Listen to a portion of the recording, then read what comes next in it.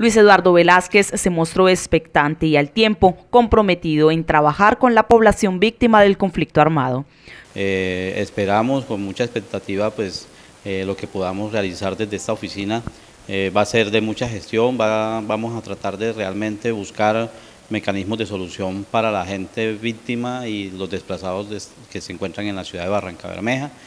esperamos poder dar los mejores resultados, vamos a buscar que haya un engranaje para que podamos trabajar con todas las autoridades y todos los entes que operan alrededor de esta población. Su posesión será este jueves 3 de agosto a las 9 de la mañana en la sala de juntas de la alcaldía. En este espacio también se nombrarán oficialmente los otros nuevos integrantes del gabinete.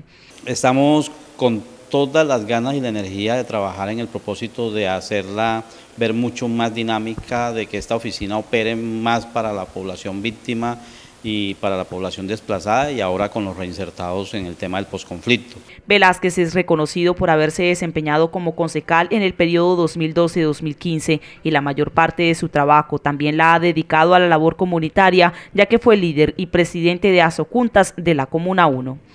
Eh, queremos que se transforme, ojalá podamos llegar a crear la Secretaría de la, para la Paz y el Posconflicto, que sería muy importante toda vez que ya existe el Ministerio del Posconflicto.